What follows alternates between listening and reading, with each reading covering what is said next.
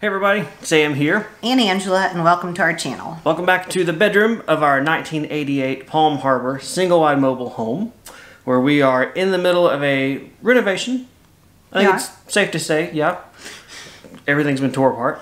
Hopefully, I would say we are on the top of it, and now we are getting ready to slide down to Oh, yeah. the easier part. Oh yeah. We for sure get into some easy parts towards the end of this video, which brings us to installing drywall. But before we get to that part, we've got some more blocking and not fun work to do in the walls. Prep work. Let's go.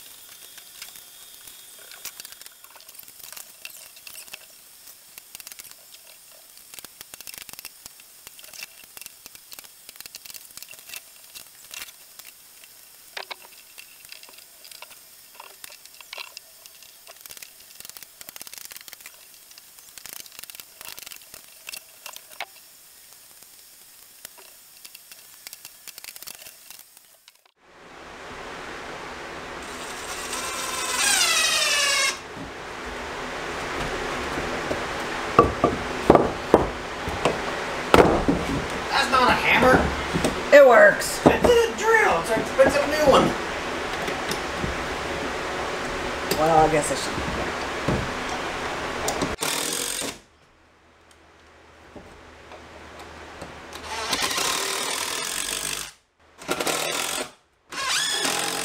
In the bathroom on the other side of this wall, there is an old towel hook that got ripped off the wall.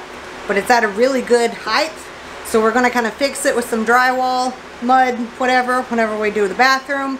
But this will give a sturdier something to hold on to for the future use. And we went ahead and added in some blocking for the shower and for above where the shower rod hits because it's not had anything to grip onto and it'll just fall down. So this will give it some more beefing up to.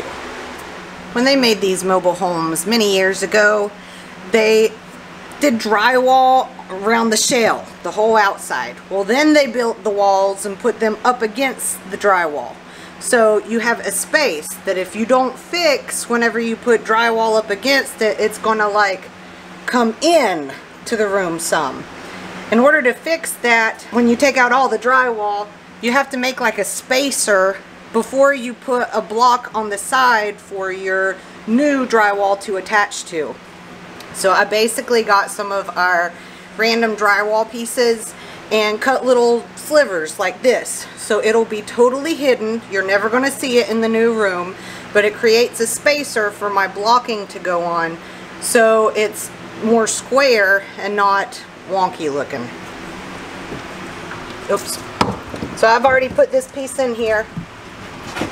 And now I can take a piece of plywood, plywood extra that we have, slide it up underneath it, and now I have a piece that is going to hold a space and act as blocking when I screw this together.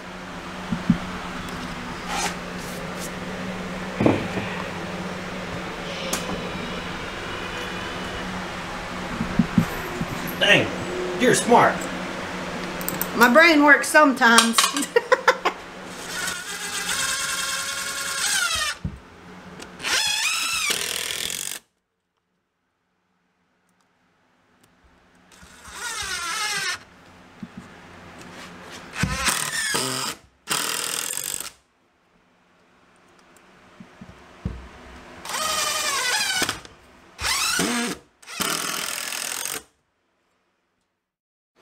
Over here in my corner, I've been doing my nail plates or nailers or blocking a little bit differently.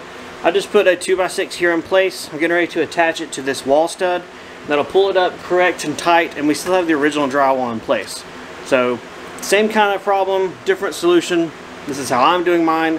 And Angela got the hard one because there's the tub shower combo over there anyway and the wiring, so I took the easy one. Doing this to pull the 2x6 flush with the front face of the stud.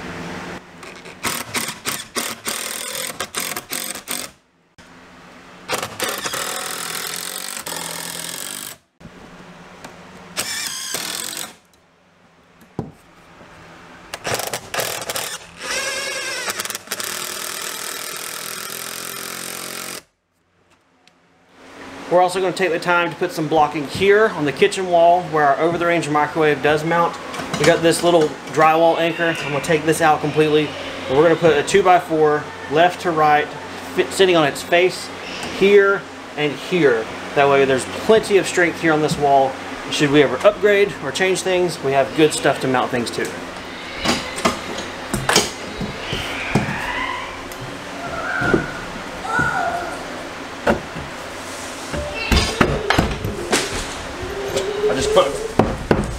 It must have been the bolt out of the wall.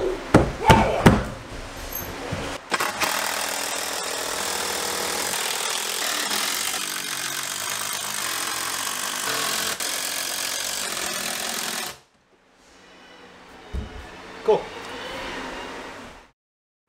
We have reached the point where we are ready to tell, inform, and include you guys on exactly what our plans are for this wall and that insulation. We have decided to actually keep this insulation. It is still totally good. It's not got the mold on it. It's not got rot around it, underneath it, or anything like that. So it is just older insulation, but still totally usable. Yep, there's no bugs nests in it. The discoloration is not water damage. I pulled it out, I looked, it's just, I don't know, it's dark. Older, discolored insulation. Tan lines. So we feel comfortable leaving it. Mm-hmm. And to create a water barrier, vapor barrier, I hope it's not a water barrier, but yes, to create vapor barrier. to create a vapor barrier, we are going to put up a sheet of plastic Mm-hmm. on the inside, and that will work as the vapor barrier.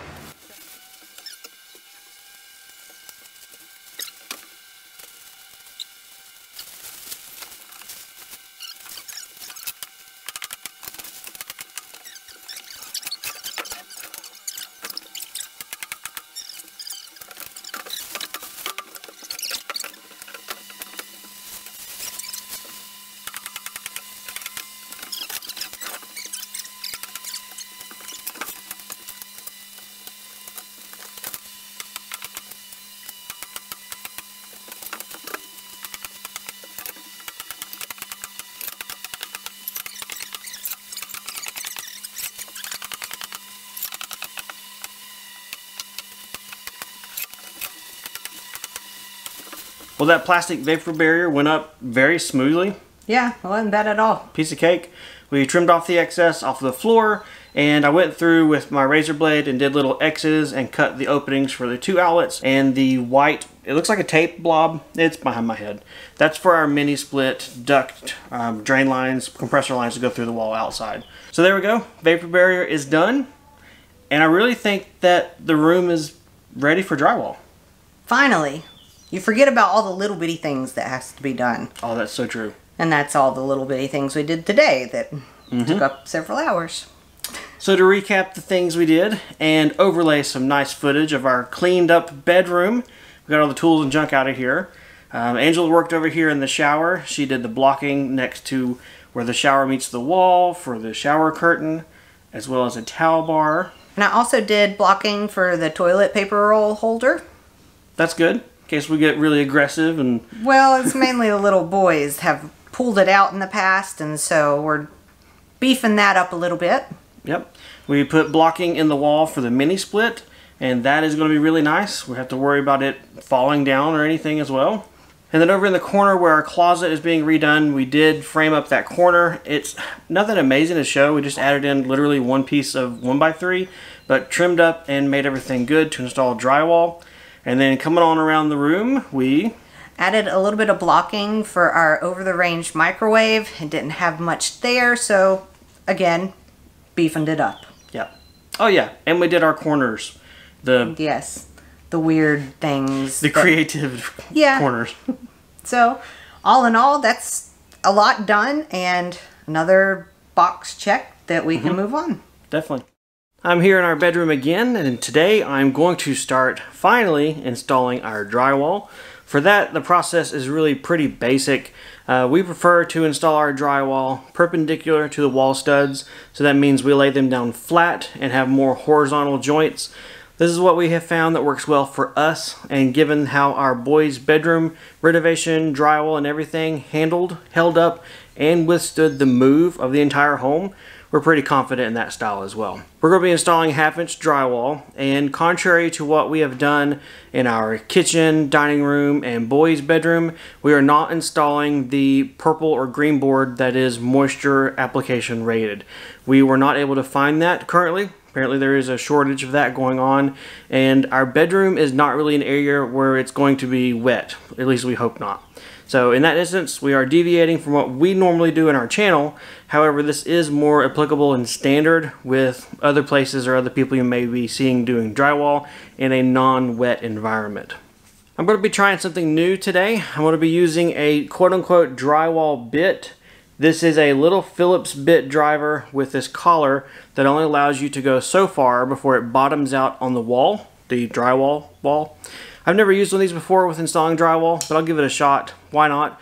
Maybe it's going to be something really awesome and I will have wished I had always had it, or maybe it's just a gimmick. I'm not sure just yet. In addition to that, I will be using two other cool tools. One is for finding your outlet locations behind the wall, and the other is for cutting out the holes through the drywall for your outlets. But first, let's get some supplies together, get some stuff in this room, and then we'll see you guys there with the cool tools.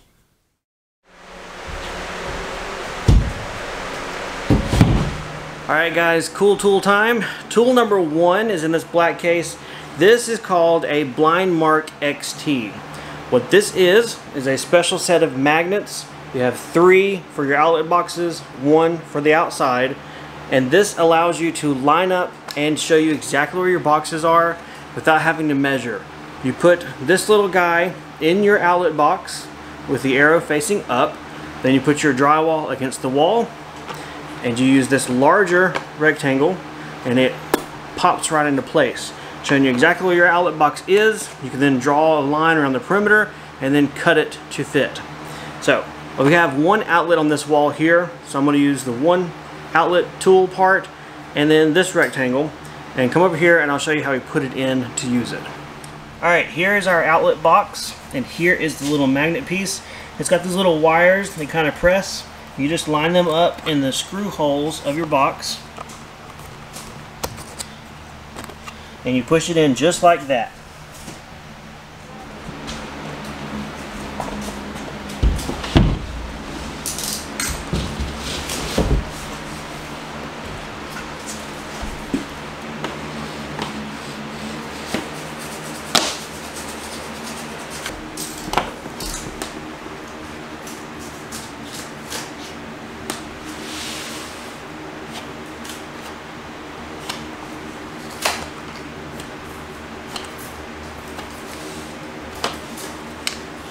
How cool is that?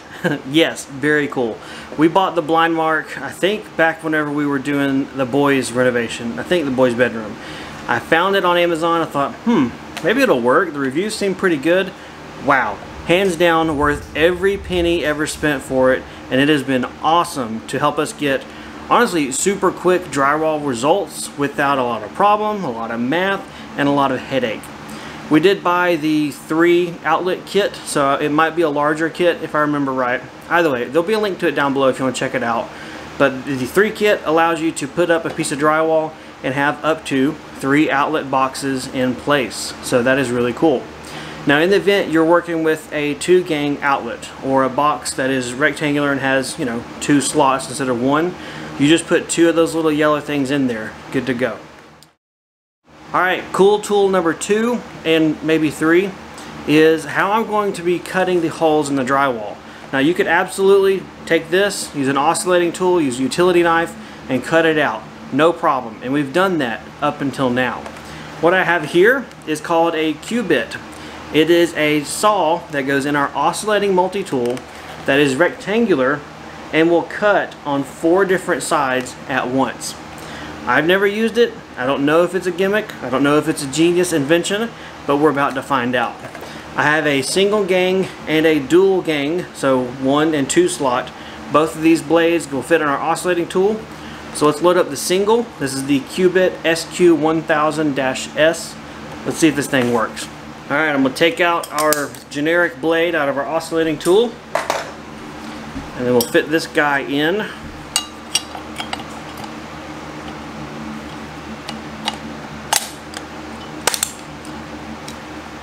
So in theory, we're good to go ahead and use this thing. Let's see if it works.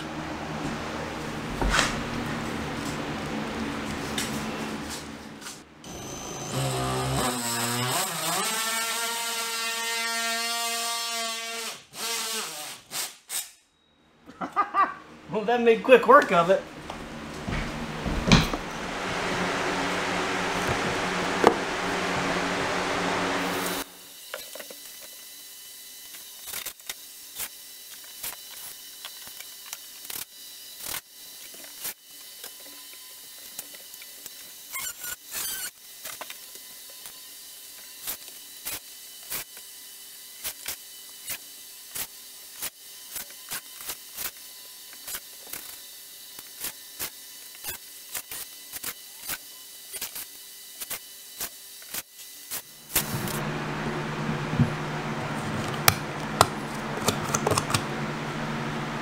All right, I think all in all, that was nice. Uh, one thing I did notice, and I went and grabbed another electrical box because I was curious. I was curious at the size of my electrical boxes versus the size of the Qbit saw. They are pretty much dead on. The same size all around. So you've got to be dead on on your placement for it to just slide right in there easy peasy. Whenever you take the blind mark tool and hold it up, it is also the same exact size. So you've got to get the magnets lined up to the box perfectly, mark them, and then get the tool lined up to your marks perfectly and mark those as well.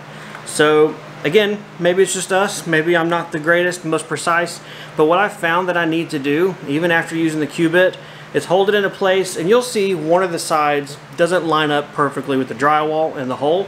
So then I take my oscillating tool with a regular blade and just kind of shave it on one or two sides just to get it to fit. Regardless, the blind mark tool, hands down worth it. That is so much easier than measuring and transferring your measurements and then did I get it right? It's just perfect. This is more relative dimensioning where you use real life objects to find locations or sizes. The Qbit I still like. It is still very quick, gives you very nice rectangular cuts, is relatively low dust. I mean, none of this is no dust, but relatively low. But probably the number one thing I like about this tool versus utility knife is safety. The chances of you cutting your fingers off with this tool are less than using a utility blade and constantly going back and forth over and over and over, scoring it to finally cut through. So in that sense, from a safety standpoint, this is still well worth it. Even though you have to sneak up onto your cuts, still well worth it. Alright, tool talk out of the way. No doubt you're wondering, Sam, what are you doing? You're hiding your window? No. I decided to go ahead and install my panel, put it in place. What I'm going to do now is take my tape measure, drop it down behind the drywall to on top of the sill plate or the board, whatever, the framing member that's below the window. Get my measurement, transfer it on the front, make a mark, do that left and right, draw a line, and then give myself a line here to cut out in place. I figured that's going to be easier for me so that I'm not dealing with the small little sliver that would have been left over there. I don't run the risk of breaking it. And again, this is more relative dimensioning, the stuff where you use the piece in where it's going to be installed to make marks and cut it to fit. At this point, it's really just a matter of rinse and repeat on the parts where I have outlet boxes, put the blind mark tool in, hold my panel in place, mark it, cut it, trim it to fit, and then install it. I'm going to sit you guys over here in the corner so I can just start working and I'll see you guys when we have some progress made.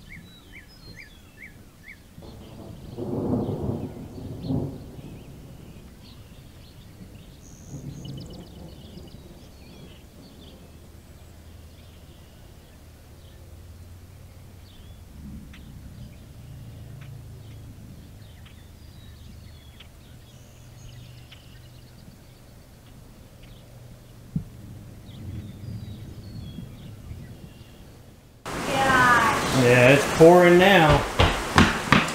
Don't want to be anywhere. I, I saw the pony over there running like crazy. I would too. Ah. Yikes.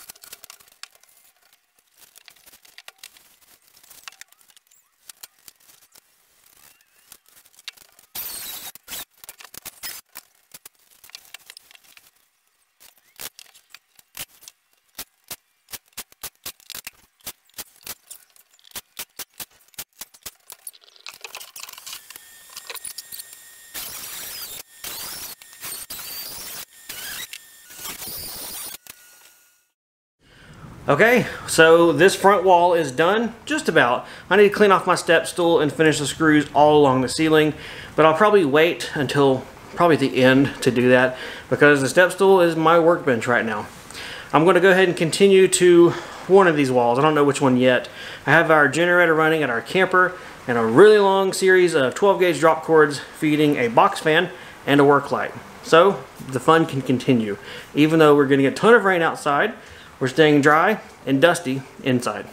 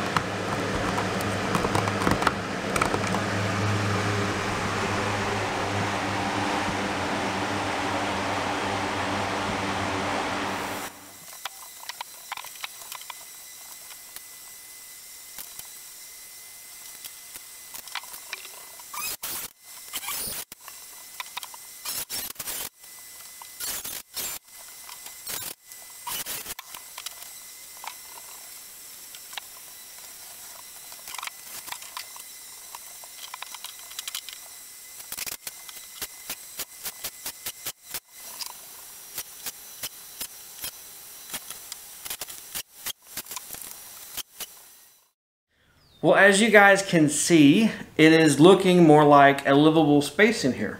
Woohoo! At least on this wall, not so much over there. Well, if but, you covered that up, we're Right. good. So you, uh, we're not here for today for the drywall work. So what are your thoughts of walking in here and seeing this? It's pretty amazing. It totally is looking like a bedroom and not a construction site. So, It is nice to have the, the more finished things on the walls. You know, it still looks like a construction site, I guess, but it's like, oh, the walls are eventually going to be whitish. They are kind of whitish now. That's nice. there's not, you know, studs sticking out every so often and Right, or the- insulation poking out. Exactly, exactly. So the blind mark tool, as you guys saw, is hands down the best tool to get for this kind of install. Unless you're just a magician or I don't know, love the roto zip tools where you like cut and trace the outlet box. I don't know. For us, the blind mark tool has been great. We used it in the boys' room. We've used it here, and I still 100% enjoy it and will keep using it. And then the new Q1 oscillating tool cutter thingamajig. That was really cool to use. It worked really well. You didn't get to see it. I it. didn't this time. You'll have to watch the video and see it, but it was very cool. Um, it does produce a lot of dust, but Well, everything does in here. Right. Yeah. It's a lot for me. It's a lot safer because I'm not using a razor blade to cut, cut, cut, cut, cut, and hopefully don't cut myself. It's just buzz, hold your breath, or put a box fan in the window, which we always do here. Both of those tools are made in the USA, so they're ones that I would endorse. Not that I'm being paid to endorse anything, but Sam will give you his stamp of approval. I don't know. Well, we try to support U.S. stuff as much as we can, so there you U- go. we support U.S. stuff. Supporters of U.S. stuff. Uh, everybody knows what you mean. I'm just picking. You like to pick. Well, that's going to be it for this video. We obviously have more drywall work to do. Maybe next time I'll twist Angela's arm and get her in here for the more fun angular cuts around the ceiling and stuff. And then, of course, we still have our Project Creep. We have not started to creep on our Project Creep just yet. We want to get a good part of this part done before we project creep. Yeah, that yeah, that's a good point. Well, guys, thanks for coming along with us as we got moving along again on our bedroom, getting the walls prepped and sort of done. If you have any questions or comments, leave them below. Otherwise, we'll see you next time on the homestead. See you guys. Bye. Hold on. What's the matter? You don't like it up high enough? Makes it look like you have a five head. How about a 12 head? Whoa! We're going to be attaching the drywall to our wall studs using drywall screws, inch and 5 eighths length and length. Mhm, Easy, slide down to easy parts. For attaching the drywall to the wall, drywall wall, by fur, by fur, man. But first, let me get some supplies together. Let's get some stuff in this room, and then we'll shoe, shoe you guys. We're gonna shoe. Handy, handy, handy dandy. Well, uh, you'd not work in, uh, man. Yeah, that's all. Ah! What, how, why is that one? Hmm, haunted house.